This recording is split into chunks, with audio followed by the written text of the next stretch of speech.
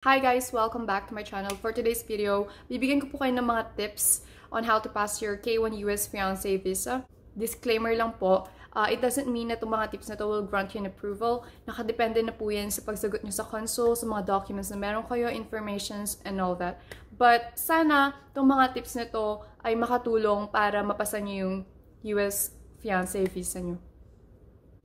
Tip number one, gather all the necessary documents. Make sure na yung mga importanteng documents, guys, ay ready na. At kung meron kayong supporting documents, like uh, pictures nyo together, airline ticket, receipts ng hotel, itinerary nyo, guys, mas magandang dalhin nyo yun sa interview nyo para, para kapag katatanungin ng consul sa'yo, like say for example, pictures niyo together, may may papakita kayo, di ba? Di ba ng sobrang daming documents ang dalhin niyo sa interview kaysa naman sa magkulang.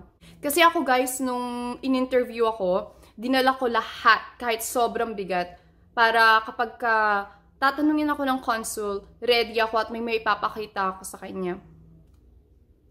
Tip number two, organize your documents. I suggest you guys na ilagay mga documents nyo sa clear book. Eto, dito ko nilagay mga documents ko. Tapos, uh, pwede nyo rin lagyan ng sticky paper dito sa gilid. Pero hindi, siya, hindi sa loob. Dito, dito. Pwede nyo ditong idikit yung sticky paper. Tapos ilagay nyo yung name ng document.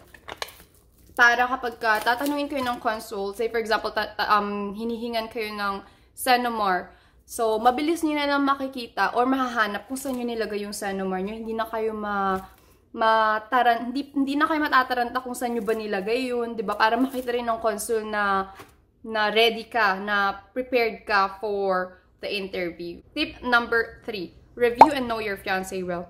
Guys, make sure na ni-review niyo yung mga documents na ipinasa ni fiancé sa USCIS like the Form I-129F, Form I-130, Form I-138, G1145 kasi guys, doon sila kukuha ng itatanong sa'yo. So, yeah, make sure na, nag, na nireview nyo yung mga documents na yon. Kasi ako, before my interview, talagang nire-review ko talaga yung mga documents na meron ako. Kasi sa mga videos na napanood ko, dun talaga kumukuha yung consul ng itatanong sa'yo. So, nung araw na, na in-interview ako, handa ako at nasagot ko yung mga tanong ng consul sa akin. So, guys, review your documents. Tip number 4, always tell the truth. Guys, kung hindi nyo alam yung sagot sa tanong ni consul, sabihin nyo yung totoo. Huwag kayong magsinungaling kasi mararamdaman ng consul yan kung nagsisinungaling kayo. Baka yun pa yung rason kung bakit hindi kayo bibigyan ng visa. So guys, sabihin nyo yung totoo. Kasi mababait naman sila sa loob. So, huwag kayong matatakot na sabihin sa kanila na hindi nyo alam yung sagot.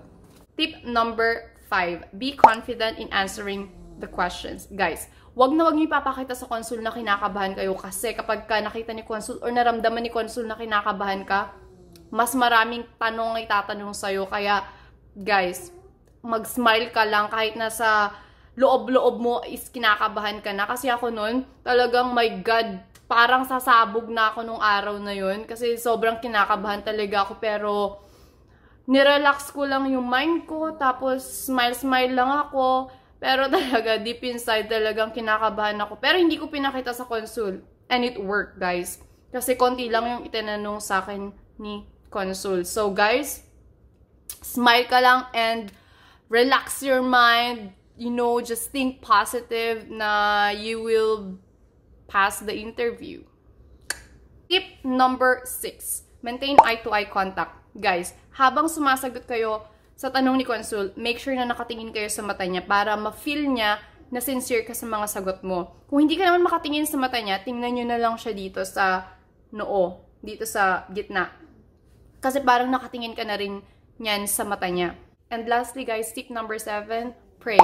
Guys, mag-pray lang kayo kay God Mag-pray kayo kay God na tulungan kayo sa interview nyo, na i-guide kayo sa interview nyo. Kasi nga, di ba, nothing is impossible with God. Kasi ako noon, talagang walang araw na hindi ako nagdadasal na sana tulungan niya ako sa interview ko. Before pa naman ng interview, wala pang interview, talagang nagdadasal na ako sa araw-araw.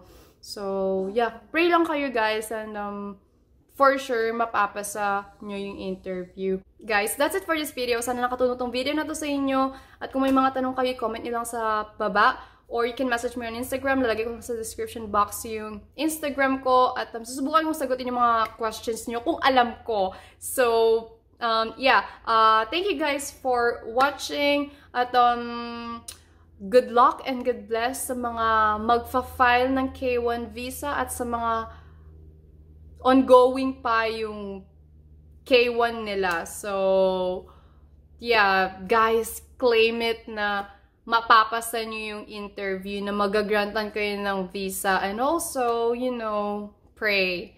Pray kay God. Talagang, ah, mapapasa nyo yan. So, yeah, thank you guys. Bye!